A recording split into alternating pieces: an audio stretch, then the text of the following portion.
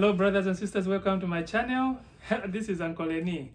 If you are new, please don't forget to subscribe and leave a comment in the comment box. And give us a thumbs up for this video. Hallelujah.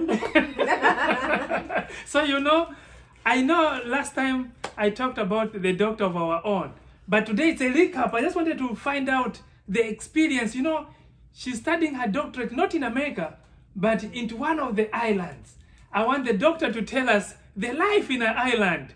You remember, this is our own doctor, Dr. Oda, who is Ghanaian American, the one we have been talking about, our own. I met doctor when she was nine years old, but today I have to make an appointment when I have to go to that practice. doctor, you are welcome to my channel.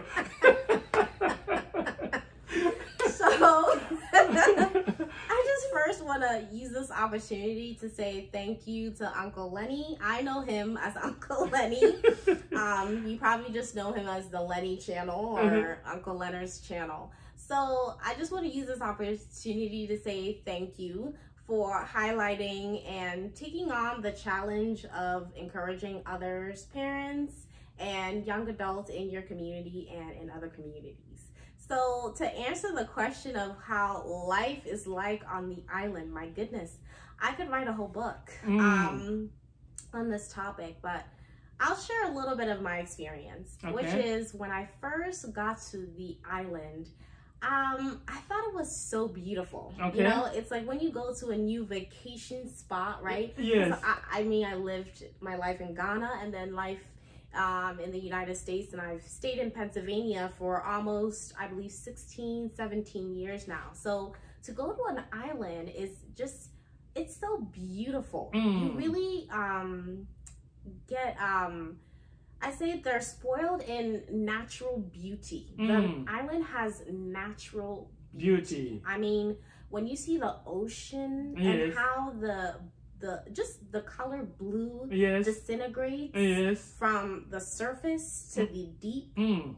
It is the most beautiful sight. And um, I actually had the privilege of sitting um, next to the window okay. um, when I was on the plane on the island and I, I, I could not close my eyes and I couldn't stop saying how naturally beautiful mm. the island is. Now, of course, when I landed, the first thing I got was that hot heat, hot island breeze. Okay, yes. I'm pretty sure it was 80 and beyond. Yes, and I, I was like, my goodness, it is so hot. And um, I left around December, January. So in Pittsburgh, Pennsylvania, it is cold. Mm. So I had on my sweater, sort of like a hoodie, you yes. know, and I had on sweatpants. Okay.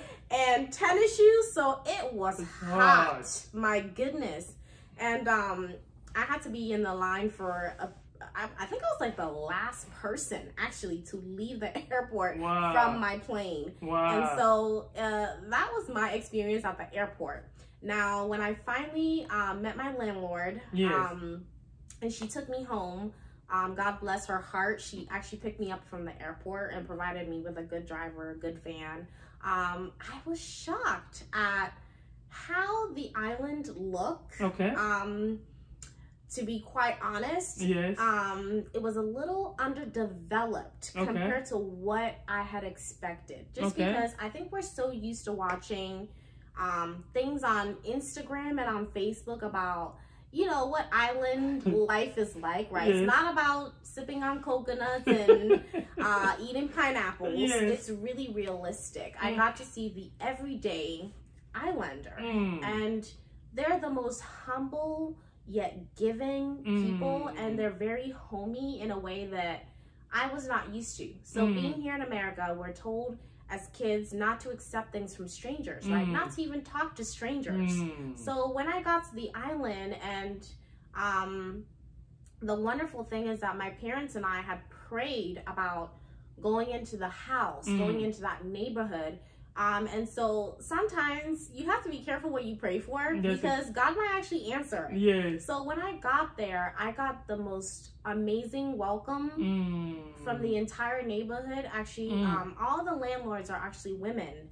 And, um, you know, these really sophisticated women in these really nice homes Mm. coming to me Okay. to gift me fruits. Wow. And I didn't know what to say. I didn't, Mm. you know, in, in my culture, it's rude to not accept things from adults. So at least you Mm. accept, you Yes. know. So I didn't know what to do because I wasn't used to ex- uh, the island hospitality, as they would Mm. call it. Wow. So that's a little bit about my experience um, and life on the island. So now, now, now, doctor, I want to take you back a little bit. Okay.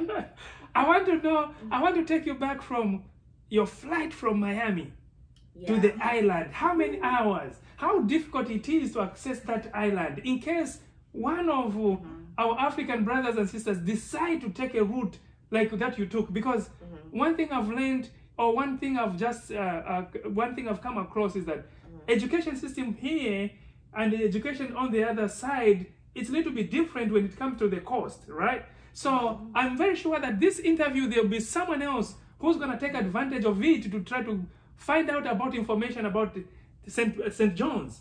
But how is the flight from Miami to St. John's? So St. James. St. James. Mhm, St. James and the Grenadines. So, uh, to be quite honest with you, the Yeah. pandemic has had a tremendous Mm. um, effect on traveling. Mm-hmm. So, I did not have a very um, good experience in my traveling the first time to the island, just because um, I had a lot of flight cancellations, Mm. first of all, um, which is normal around that time Yes. um, I had to, due to those flight cancellations, I had to do a lot of PCR, rapid tests. So, Mm. you know, there were times where I felt like my I, my nose is just gonna fall off. You know, um, you get through delays, um, Mm. depending on other travelers who are also traveling on that flight with you. Mm. Um, you can be delayed, you can miss your flight. So, what Mm. ended up happening to me in Miami is that there was an individual in front of uh, myself and other students that I didn't know at the time were actually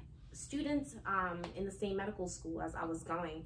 And um, what happened was there was an individual who was also on that flight with us, and Mm. um, due to their difficulties, it ended up delaying us, and we didn't make it on time for Mm. our flight. Wow. So um, there was I had to book a completely different flight Mm. actually. Mm. Um, I was using Caribbean, um, the Caribbean uh, airline, and I had to change to American Airlines. Okay. Um, get a complete different uh, different ticket. So they gave me the mileage, and um, I got on. I stayed at the airport. Yes, I did um, stay at the airport, and um, I hopped on. And like my parents told me, just get a hotel because there is a hotel in the Miami airport. yes. However, my flight was like 8 a.m., Mm. 8.30 a.m. So I told myself, because of the experience I went through, I don't want to miss this flight. So I'm going to yes, stay yes. here. Yes. Actually, I picked a seat right where American Airlines Mm, is. mm. So I was right there. So I was like the first person, Mm. first person to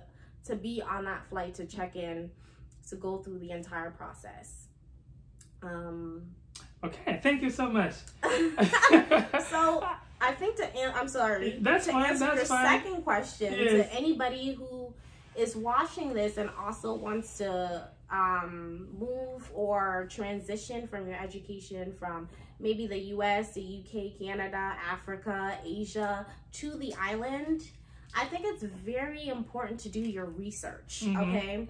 So the kind of school that I go to in the Caribbean is considered accredited. Okay. So anytime you hear that word accredited, that means that they have the same curriculum as they would have in the United States, Mm. Canada, and the UK. Mm. So which means that if you get an education from a school that's accredited, you can come back to these countries and obtain a job. So the most important thing is to look for that word accreditation. Mm. Make sure call to find out that the school has had accreditation Mm. and for how long as well because how long will tell you the reputation of that school with the American system, the European system, and the Canadian system.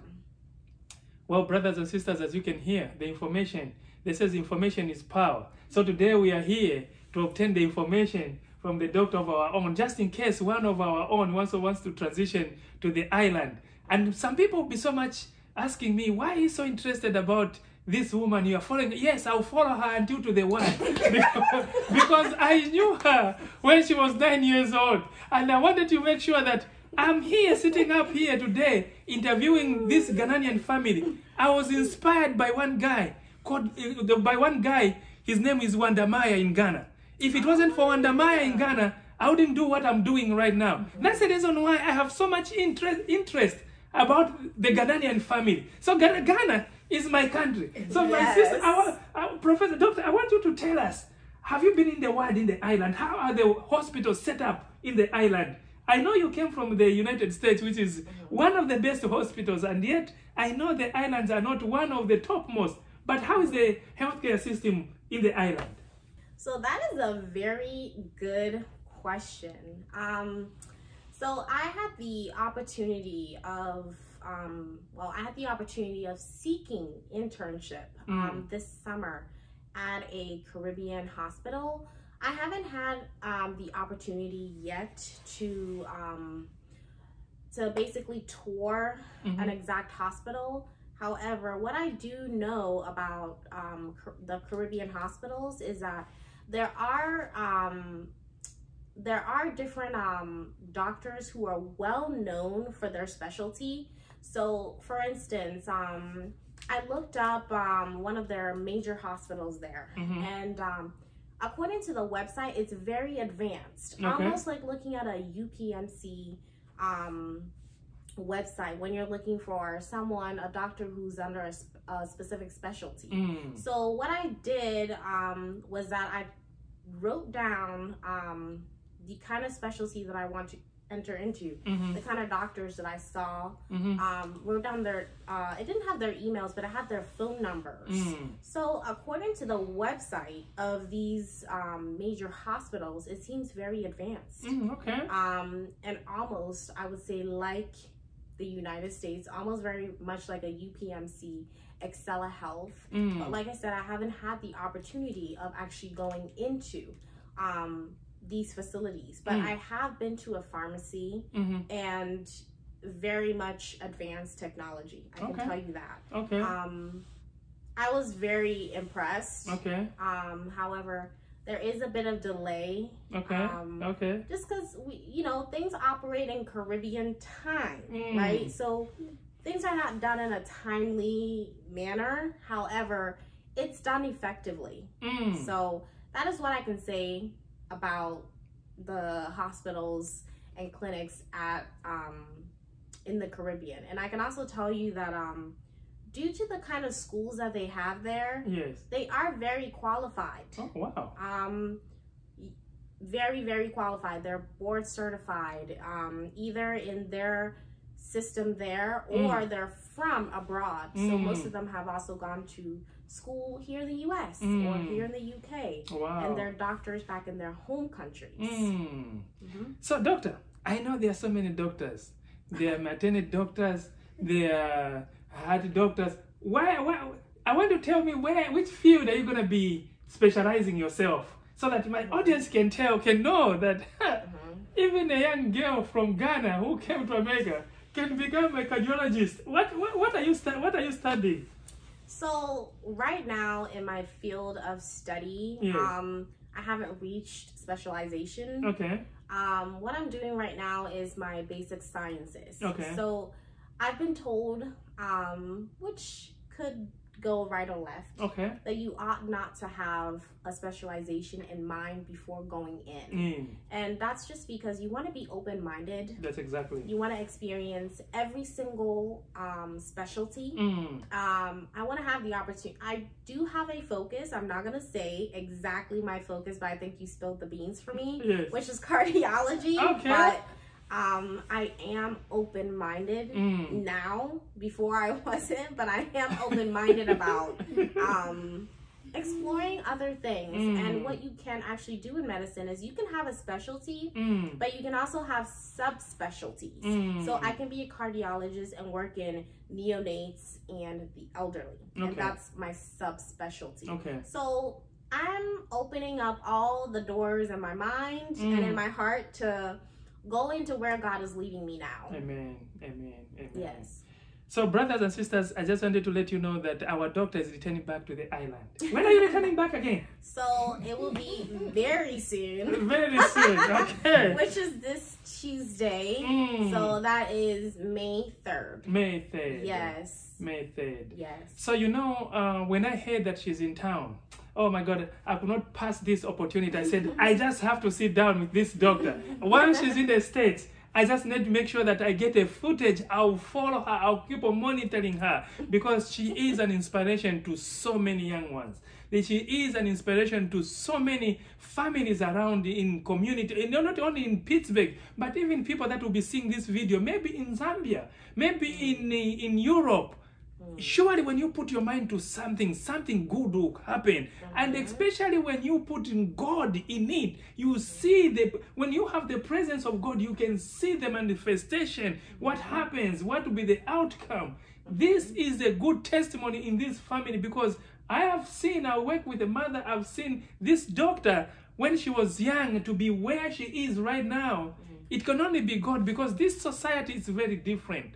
Right now, I'm sure most of her age, they've got maybe three, four kids, but here she is focused in her education. Maybe I'm sure it's that seed which the father said, if you don't focus in your education, do not return in this house. Doctor, is there any message that you want to tell my audience before we conclude? Oh my goodness. Well, what I do have to say is that um, dream big. Mhm. if you're an immigrant like myself and Yes. you're coming into the US, you're going to the UK, you're going anywhere in the world, dream big. Mm. Why why am I saying this? I'm saying this because you know, there is a saying here in America that this is the land of opportunity, Mhm. right? And so don't come to the land of opportunity with a small dream Mm. because there's somebody else out there who has a bigger dream. Mm. So come with a big dream, stick with it, Mm. work hard every single day towards it. I didn't reach this level um, in one day. Mm. you know, I'm 25, I'm going to be 26 in a few months. It's taken me my whole life Mm. to get to this level. So I've been working towards this every single day. It starts Mhm. with the little steps, right? It starts with going to school, Mm. being on time, Mm. um, studying hard, right? Mm. um, graduating, the little little steps. Um, I say stick with your routine. Focus on yourself. Don't look at what other people are doing. Mm. Um, sometimes it looks like life is going so easy for others. Mm. And it seems like sometimes in life it becomes a competition. You know, Mm. who's marrying who? Mm. Who's dating who? Um, who's more popular on Instagram, on Facebook? Mm. Um, all these worldly things um, are all distractions. Mm. And so I will say that, you know, get grounded in God. Amen. Because when you get grounded, you realize that all these things Mhm. are just a huge distraction. Hallelujah. And you can take yourself away from that and Mm. focus on the woman of God or the man of God that God wants you to be. Mm. Um, so that is the advice that I have for people. And also, if you do mess up on the way, if you end up having a child, Mhm. um, don't let that stop you. Mm, That's exactly. Okay, don't let that stop you because I go to school with mothers. Okay, people who are married, people who have had careers, who've had professions Mm. way before coming into medicine. So don't let being a, a married woman Mm. being a mother, being a wife, stop you from be, from your dream. If medicine is what you want to enter into, it's never too late. Okay, that's also another thing about education. It's good to enter early and finish early, Mm. but it's also an, a door that's never closing. Mm. As long as you have breath in your lungs, Mm. it's never too late. I go to school with the oldest student in my class is a 70 year old male. Wow.